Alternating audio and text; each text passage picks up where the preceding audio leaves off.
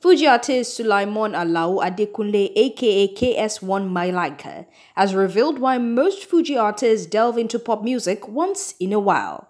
In a chat with Hip TV, Malaika says the need to follow the trend is what prompts Fuji artists to make pop music. Just have to follow the trend. So what what people are listening to, what what, what are they listening to, what people want to, to be hearing. So you need to you follow the trend as, as they go. You need to follow it. You need to follow it immediately. So that's it.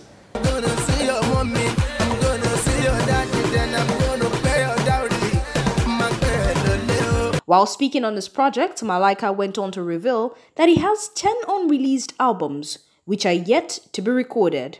Mm, let me say, I've, I, now I, I still have about 10 albums. 10 albums that is, is, is in my book now.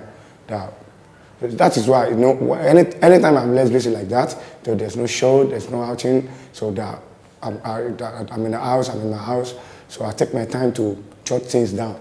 So whenever I'm ready to go to the studios, then, then I'll start finding, I mean, putting everything together so that it will be easy for me. Yeah, it's my job, so I do that always. I have, every, I have a book for that. So anytime I want to release an album, I don't have to stress myself just to go to one page or two bring it up. That's that. It's, it's, it's written down already. Just all I need to do is to just go to the book, bring it up.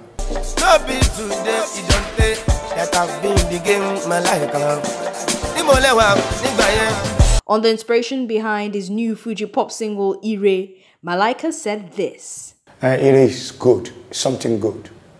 So um, let's say uh, God blessing.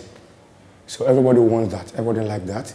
So uh, I just woke up one day and I said, okay, let me sing about something good like that, something like Iri or something like God blessing. So it's good to listen to every time. So who doesn't want Iri? Who doesn't want good? So that is what I, that is just to create behind it.